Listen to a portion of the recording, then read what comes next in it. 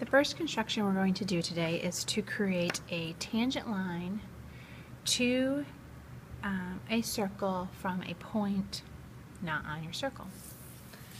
So the first thing you're going to start with is just to um, take your, first start with a point that's going to be the center of your circle and now construct a circle using that point.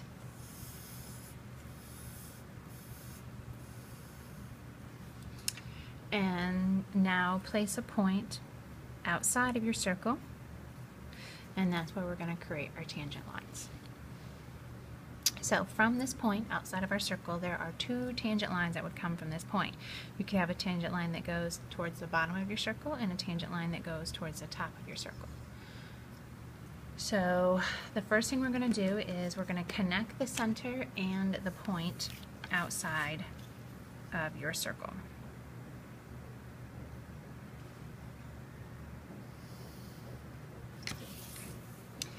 That line segment we just created is going to be the diameter of a new circle that we're going to construct. So since this is a diameter, we need to know what the center is. So all I'm going to do is take my compass and I'm going to create the bisector of segment CP. So I'm going to take my compass, make sure it's open more than half the length of the line segment, make arcs above and below, and then repeat my steps over at point C. So when I now use my ruler and connect those two points, I'm going to do this line very lightly.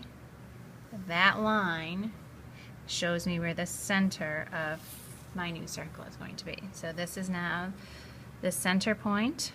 I'll put a little 2 for circle 2. So now that's center, so I'm going to put my pointer on that and put so C and P are the endpoints of the diameter. So now when I put my compass on the center and one of the endpoints, I should be able to construct a circle that goes through C and point P. And there we go. And so now the important part of this construction is where the two circles intersect.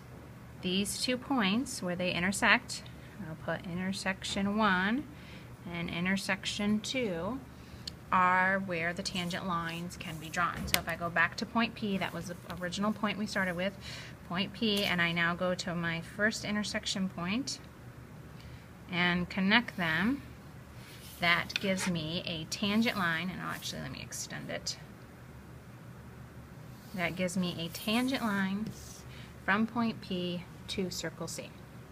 The reason that this works and that we know for sure that is a tangent line, because if I take that point of tangency and the center of my old circle, or I guess th this C is now on my new circle,